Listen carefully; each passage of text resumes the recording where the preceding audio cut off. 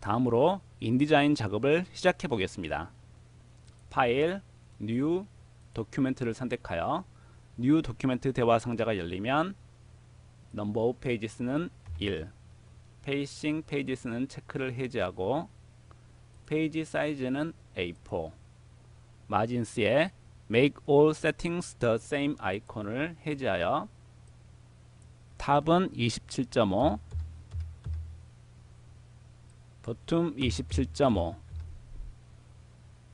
Left 12 Right 12로 입력하고 OK 버튼을 클릭하여 새 document 창을 만듭니다. 다음으로 안내선을 만들어 보도록 하겠습니다.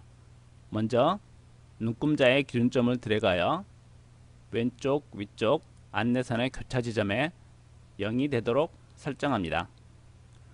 Zoom Tool로 왼쪽 위를 확대하여 드래그하고 안쪽으로 각각 3mm씩 들어간 안내선을 만들어야 합니다.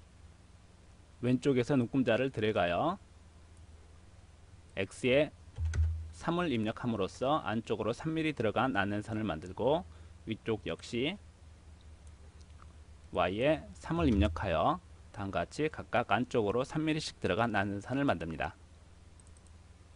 아래쪽도 같은 방법으로 안내선을 만들어 보도록 하겠습니다.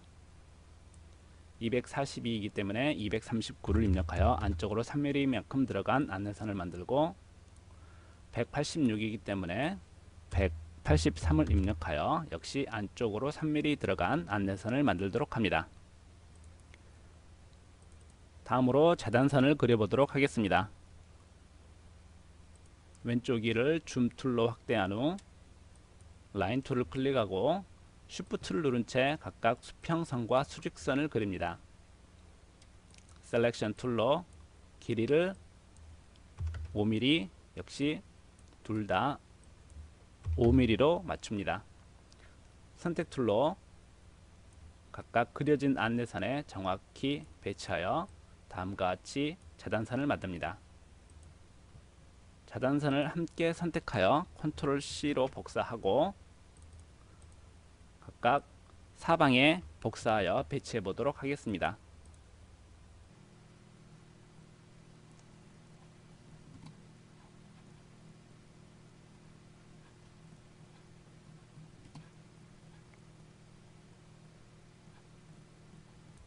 다음같이 재단선 배치가 모두 끝났습니다. 다음으로 이미지를 가져와서 배치해 보도록 하겠습니다.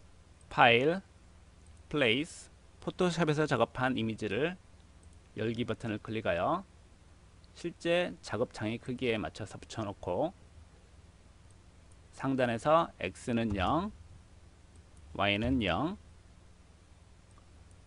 W186, H 242로 입력하여 정확히 배치되는지 확인합니다. 이때 Reference Point가 왼쪽 상단에 위치해 있는지 확인한 후 입력해야 합니다. 이미지에 마우스 오른쪽 버튼을 클릭하여 Display Performance High Quality Display로 설정합니다. 타입 툴을 선택하고 글 상자를 먼저 그린 후 Y 컬처 한국 ac.kr을 입력해 보도록 하겠습니다.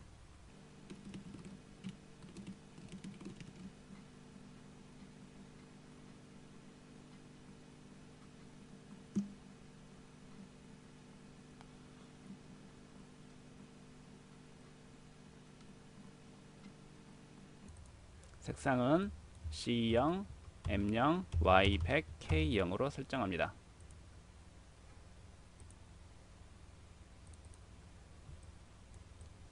같은 방법으로 다음 글자도 차례차례 입력해 보도록 하겠습니다.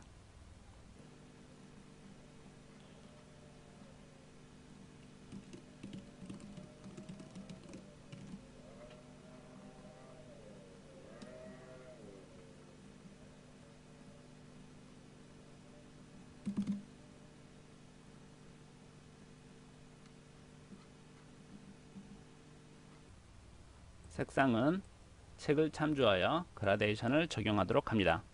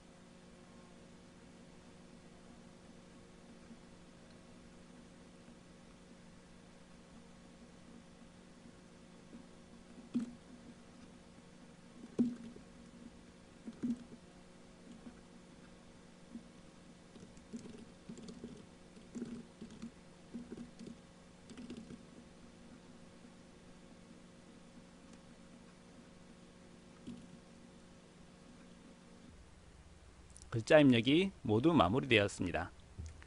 Line Tool을 클릭하고 Shift를 누른 채 아래쪽에다가 라인을 하나 만들고 색상은 흰색으로 설정하도록 하겠습니다. 다음으로 비번호를 입력해 보도록 하겠습니다.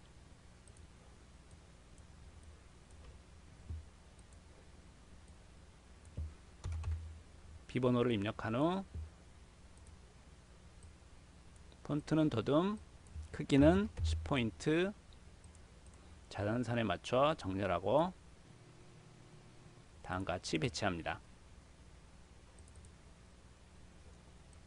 모든 인디자인 작업이 끝나면 디자인 원고와 전체적으로 확인한 후 파일 세이브를 눌러 저장합니다.